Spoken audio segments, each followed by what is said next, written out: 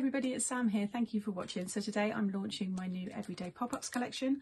So some of you will be familiar with this. So we actually first launched Everyday Pop-Ups in December. It sold so well that we've decided to bring it back as a standalone die and I'll explain and talk about that in more detail shortly. But within this collection you have cute puppies, adorable kittens, there's a coordinating dies, you've got a stencil and a brand new paper pad as well. And today we have a fantastic bundle offer on this whole collection and I'll link all of that in the description box below. Also in a few hours I will be live over on the Craft Stash Facebook page and on Craft World. I'll be doing live demos and again we'll be looking at this collection in more detail. So be sure to check that out and again those links will be shared in the description box below. But now I'm going to turn the camera around and I'll show you this collection in more detail and I'll show you the samples that I've made as well. So this is everything in the latest kind of additions to the everyday pop-ups. Like I said, it was extremely popular and it sold out so quickly. So what we've done this time is the two main dies we've actually bundled together and you can buy these on their own. So what we found is lots of people were sharing amazing cards with the Christmas pop-ups, but they were also using their own collections and they looked fantastic. So with this here, you'll be able to use this with your own pattern papers, stamps, dies, whatever you already have. So that's the 6x6 and the 5x7. I've also got a brand new paper pad, so this is an 8x8 everyday pop-ups, and you've just got all of your kind of cat and dog themed papers. You've got paw prints, just some really different colours, and they work really nicely as your backgrounds. You get 24 sheets, four of four of six designs. So you've got your paw prints there. You've got this one here with the cute little pooches on the front. And you have this one here with the outline of your cats. There's uh, about four different poses there. Quite a subtle background, but like I said, it does look nice when you layer it up then with the, the stamps and the dies. This one here I really like. It's almost like they're asking a question, they're putting their hand up, but in this case they're putting their paws up. And you could colour them in as well if you want to add your own colours to it. This one's my favourite, I really like this one. So you've got the dog and the cats there, mixed with the hearts. And then you also have this one here, which you've got your fish scales or skeleton and you've got the bone there and then you've got little hearts and a paw print and then you're back to the beginning again. So that's the paper pad. There's also some stencils here which work really well with the stamp set. So you've got a wood grain stencil and you've got this kind of basket weave. But if you like your mixed media and you just like stencils, then these are really nice ones to have in your stash. And then the best bit, my favourite bit, are these, the stamp sets. Now these are heavily used because I've made all my samples with them so they're a little bit darker and you can see here these are stained um, but it doesn't you know damage the, the stamp and they work perfectly. But here we've got Perky Pooches.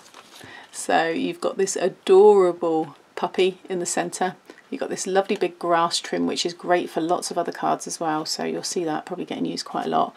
This is a wood grain panel which will all make sense in a moment and then you've just got all these lovely little kind of toys. You've got some really nice sentiments to my bona fide friend. Sorry to hear you're feeling rough. Have a pawsome day and it's pawty time. You've also got the dog bowl, you've got paw prints there as well. Really lovely stamp set. Thoroughly enjoyed using this one. And then here is your cute kittens. So you've got beautiful, she's just adorable. With just absolutely love her eyes. She's just so pretty. These here, as soon as I saw them, they made me think of a very famous sorting hat from a very famous Wizards movie. So all of you um, HP fans, you'll know exactly what I mean there. So if you have anybody, pop a couple of eyes and a, and a mouth on there, yeah, you're good to go with a, a, a wizard theme card. This here is your basket weave, so you can stamp it or you can stencil it. This here's the trim for the basket. And you've got your bowl. This is a nice little sentiment. You are one cool cat with the little ears. And then again you've got your fish there. You've got your yarn or your cotton your wool little ball little mouse. And then you got you got hope you have the perfect day. I'm not kidding. it's your birthday. And then happy birthday i do like a pun Anyway, so that's the stamps and then you have the coordinating dies. Now the dies, not only will they cut out elements of the stamps, but they also have the, I guess the, the, the sections to hide the dog and the cat behind. So for the puppy, or the dog, you've got a big panel here, which is your grass, and then he will pop out from the grass and behind him will be his kennel or his little home and these dies and the wood grain will make the, the kennel. Again you'll see that in the, the tutorials that I'll be sharing very soon. And then you've got the dies to cut the footprints out the bowl the toys and so on. Then for the cat This large rectangle is actually the base of the basket. And you can use the stencils there to obviously maybe it's a wooden basket or a, a, weave. And then you've got the die there that will cut out that long stamp. And also that is that that will stamp perfectly onto the top of this one here as well okay? So they do match. And then you've got the ones to cut. It's oh I should have mentioned they're actually the blanket. I'm too busy talking about it. Looks like a, a famous wizard's hat. But it's actually a blanket and you'll see it in a moment on the samples. And again you've got the dies to cut some of the the toys there and the bowl. So that's everything in the collection.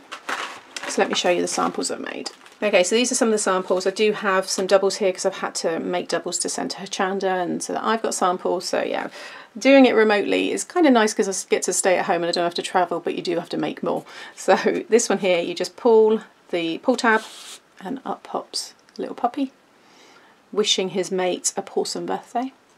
And you can see there the stamped little rosette and all the toys and everything, and I've popped glossy accents on the eyes and the nose and then you just open up the card. This is 5 by 7 and you've got your space to write your message there. And then you can just pop that down. You can see the wood grain effect there and those panels and that's the triangular ones there. So you've got like the sky. This is just another version of that with a different arrangement. So I've got the puppy at the bottom here to my bona fide friend and then all the, the toys around him. And then this time got a slightly different coloured puppy. So they're, they're nice because they're pretty plain. You can obviously, if you want to personalise them, then you can do so. And then this one here, I've used my party props and they work really well on the puppy and the kitten. The bunting's from my own stash, but this one here, you'll see pops up from the grass and I've actually layered up another kind of just like the top of the grass so that this little puppy can kind of be playing in the grass there and he's like popping out like it's almost like he's saying where have you been? I've been looking for you. You can see I've had lots of fun making these. And then again that's a similar um, arrangement just slightly different coloured puppies there to show you how those look. So that's what that does. Those of you that already have the pop-up dies you only need the additions because you already have the mechanism. But it's a really nice fun card. I do love this style. Also got this one here which um, just shows you how to use it on just like a standard top folding card and that's with the pattern papers in the background there and this one says sorry to hear you are feeling rough. Isn't that lovely? I think that's a really cute card. Okay, so these are the kitten ones. They're all slightly different. This one here I've stamped the basket weave and then I've used my coloured pencils and a blending solution and it's given me quite a, a grungy style to the basket but I think it works really well. These are those stamps and dies of that hat but it's actually the blanket. You can see how that looks. It's just kind of like coming over the edges of the basket. I've used the little paw prints there. I've just coloured those in. Got the little mouse. You've got all your other bits here. The gorgeous kitten. And then this one pull the top and up pops her friend. Very very sweet. And again that's a top folding six by six. And this one here is that same card again but this time I've used white. So I've got a white basket and I've just stamped it and then lightly coloured the, um, the stamped part of the basket there along with the trim. And then I've not coloured the paw prints in so you don't have to. And then again a friend pops up. And then this one here I've got the two yeah these possibly are my favourite ones. I just like how it looks. So I've done the sentiment slightly different and then when you pull this one use pattern papers on the back you get three of them. Now this one reminds me of my Nan's cats. So she's had three cats through my kind of, you know, life growing up and visiting her and stuff. And the three of these are Meg, Sophie and BT. And he was called BT, or she, we didn't actually know the sex, because she had a broken towel. Now I know some of you would be like, oh my gosh, that's so sad.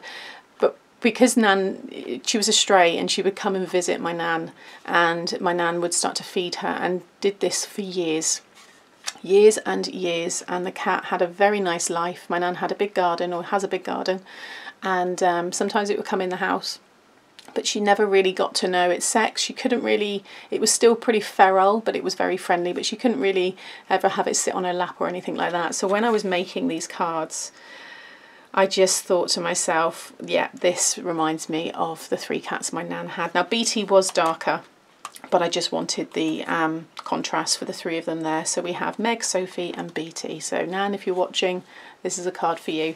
And I just think the three of them there look so sweet together. And then this was another one You can see them there. So this is just the red basket. You can see how easy, you know, you can change the colours.